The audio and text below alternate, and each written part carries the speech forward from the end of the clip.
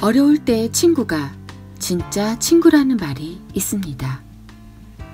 내가 승승장구하며 성공의 길을 걸을 땐 늘상 곁에 있던 친구들이 내가 어려움을 겪게 되면 하나 둘씩 떠나간다는 것입니다. 처음부터 그들은 진정한 친구가 아니었다는 그런 의미이겠죠. 때문에 성공할 때는 진짜 친구를 구분하기 어렵지만 실패했을 때는 확실히 그것이 보인다는 것입니다. 사람의 인격은 어려울 때 드러난다는 말이 그래서 나온 듯 합니다.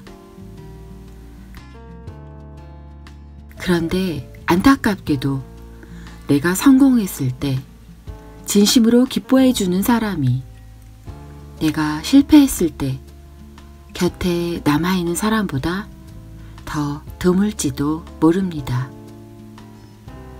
겉으론 친구의 성공을 기뻐하고 축하해 주는 듯 하지만 사실은 순수하게 마음을 다해 축하해 주는 사람은 그리 많지 않습니다. 질투하거나 폄훼까지는 아니더라도 친구의 성공을 바라보며 부러움과 아쉬움이 뒤섞인 미묘한 감정. 가슴 한구석 허전함을 느끼는 사람이 훨씬 더 많다는 사실입니다. 내 성공을 진심으로 기뻐해주는 사람들은 오히려 나와 이해관계 없는 사람일 경우가 더 많습니다. 나만큼은 적어도 진정한 친구가 되어줄 것이라 생각하지만 세상 일이란 참 내 마음 같지 않은가 봅니다. 모든 사람이 비난할 때 그 사람 편이 되어주기란 정말 힘든 일입니다. 높은 지위에 올랐을 때 자신을 도와준 사람을 챙기는 것 또한 힘든 일입니다.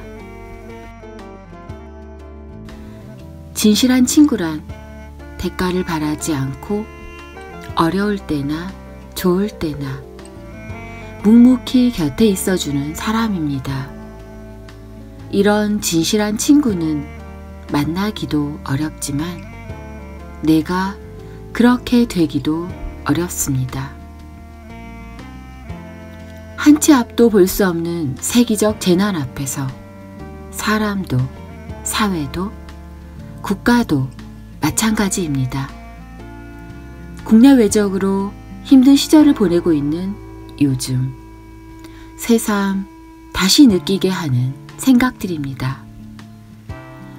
내 곁에 진정한 친구는 누구인지 나는 과연 어떤 친구가 되어줄 것인지